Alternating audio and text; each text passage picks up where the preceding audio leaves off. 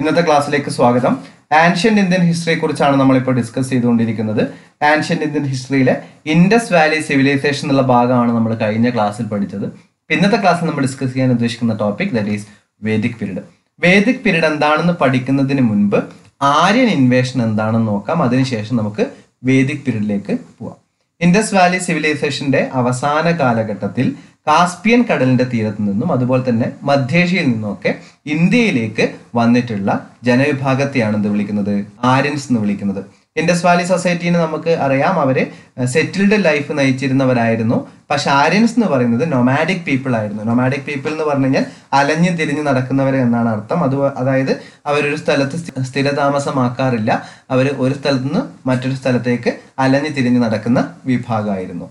അതുപോലെ തന്നെ അവർ സംസാരിച്ചിരുന്ന ഭാഷ സംസ്കൃതത്തിന് സമാനമായ ഭാഷയായിരുന്നു അവർ സംസാരിച്ചിരുന്നത്. ഏതാണ്ട് രണ്ടായിരം ബി സിയിലാണ് അവർ കാസ്പിയൻ കടലിന്റെ തീരത്ത് നിന്നും അതുപോലെ തന്നെ മധ്യേഷ്യയിൽ നിന്നും പുറപ്പെട്ടത്. ഏതാണ്ട് ആയിരത്തി അഞ്ഞൂറ് ബി സി ആയപ്പോൾ അവർ സിന്ധുവിന്റെ തീരത്തേക്ക് ഹിന്ദുക്കുഷ് വഴി ഖൈബർ ചുരമൊക്കെ വഴി സിന്ധുവിന്റെ തീരത്തേക്ക് എത്തിച്ചേരുന്നു എന്നാണ് പറയപ്പെടുന്നത്. നിങ്ങൾക്ക് അവിടെ ഒരു മാപ്പ് കാണാം. കാസ്പിയൻ കടലിന്റെ തീരത്ത് നിന്നും ആര്യൻസ് മൂവ് ചെയ്ത് ഇറാനിൽ കുറച്ച് നാൾ സെറ്റിൽഡായി അതിനുശേഷം ഹിന്ദുക്കുഷ് വഴി ഖൈബർ ചുരം വഴി സിന്ധുവിന്റെ തീരത്തേക്ക് എത്തിച്ചേരുകയാണ് ചെയ്യുന്നത്. അവിടെ നിങ്ങൾ ശ്രദ്ധിക്കുക ആ ഒരു റീജിയനെ നമ്മൾ വിളിക്കുന്നത് സപ്ത സിന്ധു റീജിയൻ എന്നാണ് വിളിക്കുന്നത്. സപ്ത സിന്ധു റീജിയൻ എന്ന് പറഞ്ഞാൽ ഇന്ത്യയുടെ നോർത്ത് വെസ്റ്റ് പാർട്ടിനെയാണ് സപ്ത സിന്ധു റീജിയൻ എന്ന് വിളിക്കുന്നത്. ഏഴ് നദികളുള്ള ഒരു റീജിയനാണ് ആണ് സപ്ത സിന്ധു റീജിയൻ എന്ന് പറയുന്നത്. ഏഴ് നദികൾ എന്ന് പറയുന്നത് ഒന്ന് സരസ്വതിയാണ് മറ്റൊന്ന് സിന്ധു ആണ്. പിന്നെ സിന്ധുവിന്റെ അഞ്ച് ട്രിബ്യൂട്ടറീസ് ഉണ്ട് അതായത് ബിയാസ് ചെനാബ് ഛലം രവി സത്ലജ്. ഇങ്ങനെ ഏഴ് നദികൾ ചേർന്നിട്ടുള്ള സ്ഥലത്തെയാണ് സപ്ത സിന്ധു റീജിയൻ എന്ന് വിളിക്കുന്നത്.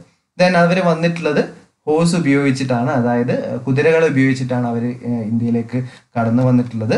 സംസ്കൃതമാണ് സംസാരിച്ചിരുന്ന ഭാഷ എന്ന് ഞാൻ നേരത്തെ സൂചിപ്പിച്ചിട്ടുണ്ട്. അതുപോലെ തന്നെ ഇതിന്റെ ഏറ്റവും പ്രധാനപ്പെട്ട പ്രത്യേകത ഈ ഒരു കാലഘട്ടത്തിലാണ് വേദങ്ങൾ എഴുതപ്പെട്ടിട്ടുള്ളത്. വേദങ്ങൾ എഴുതപ്പെട്ട ഈ കാലഘട്ടത്തെ അതുകൊണ്ട് തന്നെ എന്തറിയപ്പെടുന്നു?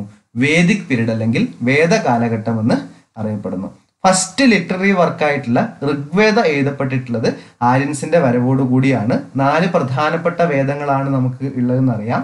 ഋഗ്വേദം സാമവേദം യജുർവേദം അഥർവവേദം. ഇങ്ങനെ നാല് വേദങ്ങളാണുള്ളത്. ഇതിൽ ഏർലി വേദിക് പീരീഡിലാണ് ഋഗ്വേദ എഴുതപ്പെട്ടിട്ടുള്ളത്. അപ്പൊ എന്തുകൊണ്ടാണ് ഈ കാലഘട്ടത്തെ വേദിക് പീരീഡ് എന്ന് വിളിക്കുന്നതെന്ന് മനസ്സിലായിട്ടുണ്ടാവും. അപ്പോൾ വേദിക് പീരീഡിനെ നമുക്ക് പൊതുവിൽ രണ്ടായി ക്ലാസിഫൈ ചെയ്യാൻ വേണ്ടി പറ്റും.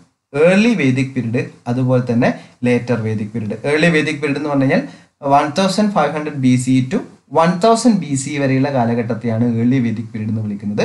ലേറ്റർ വേദിക് പീരീഡ് എന്ന് പറഞ്ഞു കഴിഞ്ഞാൽ one thousand B C to six hundred B C വരെയുള്ള കാലഘട്ടത്തെ ലേറ്റർ വേദിക് പീരീഡ് എന്ന് വിളിക്കും. ഇവിടെ ഏർലി വേദിക് പീരീഡിലാണ് ഋഗ്വേദം എഴുതപ്പെട്ടിട്ടുള്ളത്. അതുപോലെ തന്നെ ബാക്കിയുള്ള മൂന്ന് വേദങ്ങൾ അതായത് സാമവേദം യജുർവേദം അഥർവവേദം ഈ മൂന്ന് വേദങ്ങൾ എഴുതപ്പെട്ടിട്ടുള്ളത് ലേറ്റർ വേദിക് പീരീഡിലാണ് നമ്മൾ ഇതിന് മുൻപ് സ്ത്രീകളുടെ പൊസിഷൻ അതായത് വേദിക് പീരീഡിലെ സ്ത്രീകളുടെ പൊസിഷൻ ഡിസ്കസ് ചെയ്ത് കഴിഞ്ഞതാണ്. അവിടെ നമ്മൾ സെപ്പറേറ്റ് ചെയ്ത് ഏർലി വേദിക് പീരീഡ് അതുപോലെ തന്നെ ലേറ്റർ വേദിക് പീരീഡ് എന്താണെന്നൊക്കെ പറയുന്നുണ്ട്. അപ്പൊ ഇവിടെ എന്താണ് ഏർലി വേദിക് പീരീഡ് എന്ന് നോക്കാം. ഞാൻ നേരത്തെ സൂചിപ്പിച്ചതുപോലെ one thousand five hundred B C മുതൽ വൺ തൗസൻഡ് ബി സി വരെയുള്ള കാലഘട്ടത്തെയാണ് ഇത് വിളിക്കുന്നത് ഏർലി വേദിക് പീരീഡ് എന്ന് വിളിക്കുന്നത്. അവരുടെ സോഷ്യൽ ലൈഫ് എങ്ങനെയാണെന്ന് നോക്കാം. ജോയിന്റ് ഫാമിലി ആയിരുന്നു. ജോയിന്റ് ഫാമിലി എന്ന് പറയുമ്പോൾ ഗൃഹനാഥനും ഗൃഹനാഥയും ഉണ്ടാവും. അതിൽ ഗൃഹനാഥനെ ഗൃഹപതി എന്നാണ് വിളിക്കുക. അതുപോലെ തന്നെ ഗൃഹനാഥയെ സപത്നി എന്നാണ് വിളിക്കുക. രണ്ടു പേർക്കും കുടുംബ ജീവിതത്തിൽ ഫാമിലി ലൈഫിൽ ഈക്വൽ പാർട്ടിസിപ്പേഷൻ ആയിരുന്നു. അപ്പോൾ നിങ്ങൾ നോക്കുക ഗൃഹപതി ഉണ്ടാവും അതുപോലെ തന്നെ സപത്നി ഉണ്ടാവും. ചേർന്ന് കഴിഞ്ഞാലുള്ള ജോയിന്റ് ഫാമിലിയെ അന്നത്തെ കാലഘട്ടത്തിൽ വിളിച്ചിരുന്നത് ഗൃഹ അല്ലെങ്കിൽ കുല എന്നാണ്. അപ്പോൾ ഏർലി വേദിക് പീരീഡിലെ ബേസിക് ഫാമിലി യൂണിറ്റിനെ വിളിക്കുന്ന പേരാണെന്ത്? ഗൃഹ അല്ലെങ്കിൽ കുല. അപ്പൊ ഇങ്ങനെ ധാരാളം ജോയിന്റ് ഫാമിലികൾ എന്നുണ്ടായിരുന്നു അപ്പൊ അതിനെ മൊത്തത്തിൽ നമ്മൾ വിളിക്കുന്ന പേരാണ് ദാറ്റ് ഈസ് ട്രൈബ് അപ്പൊ ഒരുപാട് ജോയിന്റ് ഫാമിലികൾ ചേർന്ന് കഴിഞ്ഞാൽ അതിനെന്ത് വിളിക്കും? ട്രൈബ് എന്ന് വിളിക്കും. ഈ ട്രൈബിനൊരു ഹെഡ് ഉണ്ട്. അവരെ നമ്മൾ ട്രൈബ് ഹെഡ് എന്നാണ് വിളിക്കുന്നത്.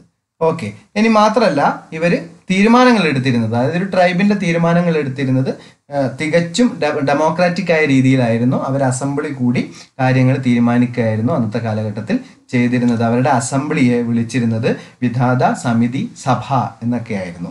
ദെൻ അതുപോലെ തന്നെ അന്നത്തെ ഏറ്റവും പ്രധാനപ്പെട്ട സമ്പന്നതയുടെ ലക്ഷണം എന്ന് പറയുന്നത് കന്നുകാലികളായിരുന്നു. ഏറ്റവും കൂടുതൽ കന്നുകാലികളുള്ള ആളുകളായിരുന്നു അന്ന് ഏറ്റവും സമ്പന്നരായി കണക്കാക്കപ്പെട്ടിരുന്നത്. അതുകൊണ്ട് തന്നെ ഈ കന്നുകാലികൾക്ക് വേണ്ടി യുദ്ധം നടന്നിരുന്നു. അപ്പൊ കന്നുകാലികൾക്ക് വേണ്ടി ഏർലി വേദിക് പീരീഡിൽ നടന്ന യുദ്ധത്തെ വിളിച്ച വിളിക്കുന്ന പേരാണ് ഗവിഷ്ടി എന്നുള്ളത്. അപ്പൊ അതുകൂടി നിങ്ങൾ അവിടെ എന്ത് ചെയ്യുക?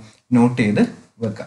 ഇനി അന്നത്തെ സോഷ്യൽ ലൈഫിൽ പ്രധാനമായും മൂന്ന് വിഭാഗക്കാരാണ് ഉണ്ടായിരുന്നത് പ്രീസ്റ്റ് അതുപോലെ തന്നെ soldiers the last one common people ഇങ്ങനെ മൂന്ന് പ്രധാനപ്പെട്ട വിഭാഗക്കാരാണ് ഏർലി വേദിക് പീരീഡിൽ ഉണ്ടായിരുന്നത്. പ്രീസ്റ്റ് എന്ന് പറഞ്ഞു കഴിഞ്ഞാൽ പുരോഹിതന്മാര് സോൾജിയേഴ്സ് എന്ന് പറഞ്ഞു കഴിഞ്ഞാൽ യുദ്ധം ചെയ്യുന്നവർ അതുപോലെ തന്നെ സാധാരണ മനുഷ്യർ കോമൺ പീപ്പിൾ ഇത്രയുമാണ് ഏർലി വേദിക് പീരീഡിനെ കുറിച്ച് ഏർലി വേദിക് പീരീഡിന്റെ സോഷ്യൽ ലൈഫിനെ കുറിച്ച് പറയാനുള്ളത്. നോക്കുക ജോയിന്റ് ഫാമിലി ആയിരുന്നു ഗൃഹപതി അതുപോലെ തന്നെ സപത്നി അവർക്ക് രണ്ടുപേർക്കും ഈക്വൽ പാർട്ടിസിപ്പേഷൻ ആയിരുന്നു. ജോയിന്റ് ഫാമിലിയെ വിളിച്ചിരുന്ന പേര് ഗൃഹ അല്ലെങ്കിൽ കുല എന്നായിരുന്നു. അതുപോലെ തന്നെ ഒരുപാട് ജോയിന്റ് ഫാമിലികൾ ചേർന്ന് കഴിഞ്ഞാൽ അതിനെ ട്രൈബ് എന്ന് വിളിക്കും. ദെൻ ആ ട്രൈബിന്റെ ഹെഡിനെ ട്രൈബ് ഹെഡ് എന്ന് വിളിക്കും. അവർ തീരുമാനങ്ങൾ എടുത്തിരുന്നത് ട്രൈബിന്റെ ഡിസിഷൻസ് എടുത്തിരുന്നത് അസംബ്ലി അതായത് വിധാത സമിതി സഭ എന്നൊക്കെ അറിയപ്പെടുന്ന അസംബ്ലി കൂടിയിട്ടാണ് അവർ തീരുമാനങ്ങൾ എടുത്തിരുന്നത്. അന്നത്തെ സമ്പന്നതയുടെ ലക്ഷണം എന്ന് പറയുന്നത് കാറ്റിലായിരുന്നു കന്നുകാലികളായിരുന്നു. അപ്പൊ കന്നുകാലികൾക്ക് വേണ്ടി അന്ന് ഫൈറ്റ് നടന്നിരുന്നു. ആ ഫൈറ്റിനെ വിളിച്ചിരുന്ന പേരാണ് ഗവിഷ്ടി. സൊസൈറ്റിയിൽ മൂന്ന് വിഭാഗക്കാരാണ് ഉണ്ടായിരുന്നത്. പ്രീസ്റ്റ് സോൾജിയേഴ്സ് അതുപോലെ തന്നെ കോമൺ പീപ്പിൾ ഓക്കെ ഇനി നമുക്ക് ലേറ്റർ വേദിക് പീരീഡ് എന്താണെന്ന് നോക്കാം. ഞാൻ നേരത്തെ സൂചിപ്പിച്ചതുപോലെ വൺ തൗസൻഡ് ബി സി മുതൽ സിക്സ് ഹൺഡ്രഡ് ബി സി വരെയുള്ള കാലഘട്ടത്തെയാണ് ഇത് വിളിക്കുന്നത്. ലേറ്റർ വേദിക് പീരീഡ് എന്ന് വിളിക്കുന്നത്. അപ്പോൾ ഏർലി വേദിക് പീരീഡിൽ സപ്തസിന്ധു റീജിയനിലാണ് ആര്യൻസ് താമസിച്ചിരുന്നത് എന്ന് നമുക്കറിയാം. സപ്തസിന്ധു റീജിയനിൽ എത്തിയിട്ടുള്ള ആര്യൻസ് അവിടെ സെറ്റിൽഡ് ആയി. അതിനുശേഷം അവരെന്ത് ചെയ്തു? പതുക്കെ ഗാൻജറ്റിക് പ്ലെയിൻ അതായത് ഗംഗയുടെ തീരത്തേക്ക് എന്ത് ചെയ്തു? മൂവ് ചെയ്തു. ആ ഒരു കാലഘട്ടത്തെയാണ് എന്ത് വിളിക്കുന്നത്? ലേറ്റർ വേദിക് പീരീഡ് എന്ന് വിളിക്കുന്നത്. ഈ ഒരു കാലഘട്ടത്തിൽ അവർ അയൺ ടൂൾസ് ഉപയോഗിച്ചിരുന്നു എന്നാണ് കണക്കാക്കപ്പെടുന്നത്. അതുപോലെ തന്നെ ഈ കാലഘട്ടത്തെ സംബന്ധിച്ച് ഇൻഫർമേഷൻ നമുക്ക് ലഭിക്കുന്നത് ഞാൻ നേരത്തെ പറഞ്ഞിട്ടുണ്ട് ഋഗ്വേദം എഴുതപ്പെട്ടിട്ടുള്ളത് ഏർലി വേദിക് പീരീഡിലാണ് ബാക്കിയുള്ള മൂന്ന് പ്രധാനപ്പെട്ട വേദങ്ങൾ അതായത് അഥർവവേദം അതുപോലെ സാമവേദം യജുർവേദം ഈ മൂന്ന് വേദങ്ങളിൽ നിന്നുമാണ് ലേറ്റർ വേദിക്കിനെ സംബന്ധിക്കുന്ന ഇൻഫർമേഷൻസ് നമുക്ക് ലഭിച്ചിട്ടുള്ളത്. അതുപോലെ തന്നെ അവരുടെ സെറ്റിൽഡ് ലൈഫിലേക്ക് മാറിയിരുന്നു എന്നാണ് പറയപ്പെടുന്നത്. അതായത് ഏർലി വേദിക് പീരീഡിൽ നിന്നും ലേറ്റർ വേദിക് പീരീഡിലേക്ക് എത്തുമ്പോൾ ഏറ്റവും പ്രധാനപ്പെട്ട പ്രത്യേകത നൊമാഡിക് പീപ്പിൾ ആയിരുന്ന ആര്യൻസ് സെറ്റിൽഡ് ലൈഫ് തുടങ്ങിയിരുന്നു എന്നുള്ളതാണ്. ഈ സെറ്റിൽഡ് ലൈഫ് തുടങ്ങിയോണ്ട് തന്നെ ഏർലി വേദിക് പീരീഡിൽ എന്താണ് അവിടുത്തെ ജോയിന്റ് ഫാമിലിയുടെ കൂട്ടത്തെ ട്രൈബ് എന്നാണ് വിളിച്ചിരുന്നത്. പക്ഷേ ലേറ്റർ വേദിക് പീരീഡിലേക്ക് വന്നപ്പോ ഇതെന്തായി മാറി?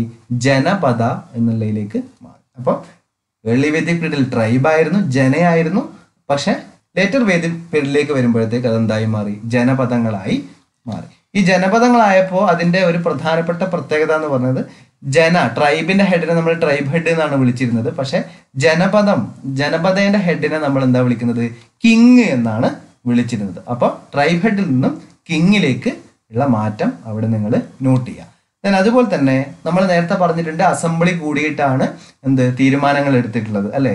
അപ്പൊ ഇവിടെ തീർത്തും ഓട്ടോക്രാറ്റിക് ആയ രീതിയിലാണ് തീരുമാനങ്ങൾ എടുക്കുന്നത്. അതായത് ഒരു കിങ് ഉണ്ടാവും. ആ കിങ് ആണ് തീരുമാനങ്ങളൊക്കെ എടുക്കുന്നത്.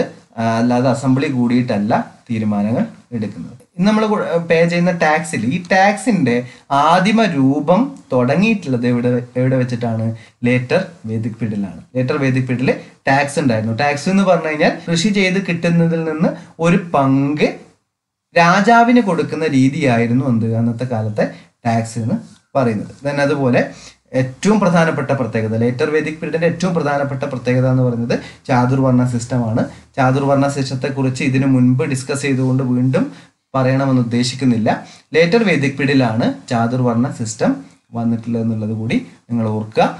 അതുപോലെ തന്നെ ഉപനിഷത്തുകൾ എഴുതപ്പെട്ടിട്ടുള്ളതും ലേറ്റർ വേദിക് പീരീഡിലാണ് ഇത്രയുമാണ് ലേറ്റർ വേദിക് പീരീഡിനെ കുറിച്ച് പറയാനുള്ളത്. അതായത് സപ്തസിന്ധു റീജിയനിൽ നിന്നും ഗാൻജറ്റിക് പ്ലെയിനിലേക്ക് ഗംഗയുടെ തീരത്തേക്ക് സിന്ധുവിന്റെ തീരത്ത് നിന്നും ഗംഗയുടെ തീരത്തേക്ക് ആര്യൻസ് എന്ത് ചെയ്തു? മൂവ് ചെയ്തു. അവർ അന്ന് അയൺ ടൂൾസ് ഉപയോഗിച്ചിരുന്നു. ഈ ഇൻഫർമേഷൻസ് ഒക്കെ നമുക്ക് ലഭിക്കുന്നത് അഥർവവേദ സാമവേദ യജുർവേദ തുടങ്ങിയ മൂന്ന് പ്രധാനപ്പെട്ട വേദങ്ങളിൽ നിന്നാണ്.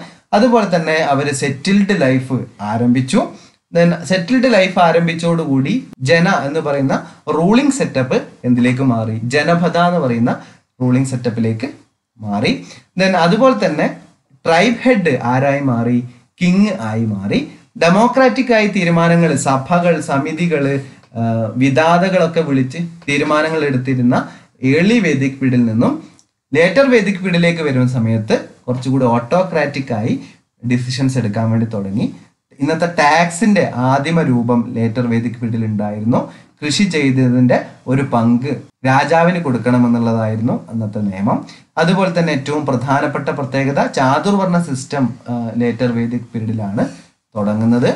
പേർലി വേദിക് പീരീഡിൽ മൂന്ന് പ്രധാനപ്പെട്ട ജനവിഭാഗങ്ങളെ ഉണ്ടായിരുന്നുള്ളൂ എന്ന് പറഞ്ഞു. ഒന്ന് പ്രീസ്റ്റ് ആണ് രണ്ട് വാരിയേഴ്സ് ആണ് ദാറ്റ് ഈസ് സോൾജേഴ്സ് ആണ് മൂന്നാമത്തത് കോമൺ പീപ്പിൾ ആണ്. പക്ഷെ ഇവിടെ നാല് പ്രധാനപ്പെട്ട വിഭാഗങ്ങൾ വന്നു. അതായത് ഒന്നാമത്തത് ബ്രാഹ്മിൻസ് രണ്ടാമത്തത് ക്ഷത്രിയ ദെൻ വൈശ്യ ശൂദ്ര. ഇങ്ങനെ നാല് വിഭാഗക്കാർ വന്നു. ഈ ഒരു കാലഘട്ടത്തിലാണ് ഉപനിഷത്തുകൾ എഴുതപ്പെട്ടത് അപ്പോൾ ഇത്രയുമാണ് ഏർലി വേദിക് പിരിനെ കുറിച്ചും അതുപോലെ തന്നെ ലേറ്റർ വേദിക് പിരിനെ കുറിച്ചും പറയാനുള്ളത്. This is all about the Vedic